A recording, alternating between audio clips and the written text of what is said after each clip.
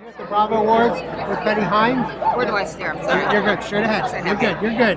So let me ask you this, Betty. You had to turn back the clock to when you were a senior in high school, what advice would you give yourself? What I would give myself is to reach out and accept everything and not be judgmental. Uh, as a high school person, I was very involved, popular as you might call it, and I did a lot of things, was very involved in the school.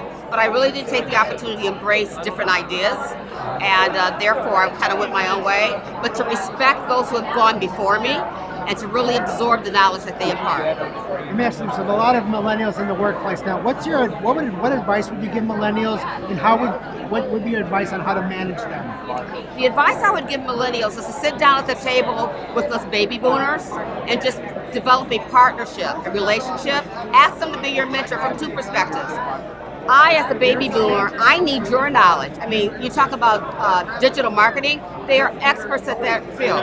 And so I need to kind of like extract the knowledge that they have, and they need to extract my words of wisdom. So that's the advice that I would give them. As far as managing them, one of the things I would consider in management, don't try to change them. They are who they are. I mean, for example, they do everything off a smartphone. We're so used to having everything in paper, except their world. Think about, as a baby boomer, what our parents thought about our world and the adjustments they had to make. So be more accepting of them. Great answer.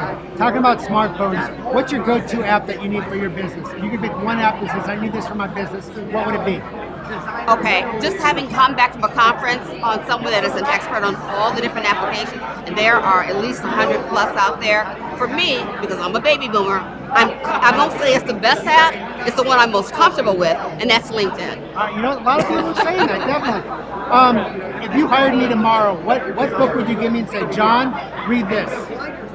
Napoleon Hill. That's the one I would give you, uh, Napoleon Hill. It's a, it's a book that's been out for decades, but it's the, the principles and premises are still true. All right, last question for you. What kind of, uh, what, what would you like to see uh, Mayor Pugh and Governor Hogan do to spur business in Maryland and specifically downtown and improve small businesses' chances for success? I think one one thing that is very critical and important. I don't. I'm not so confident that they're singing out of the same hymn book. They need to redefine what is a small business and what what is a good market for Baltimore City. What is a small business in Baltimore City? It's not a small business in Chicago or Detroit. So I think they really need to put on a clean sheet of paper what businesses fit the topography, what businesses fit the demographics for their city and work collaboratively together to move it forward. Awesome. Thank you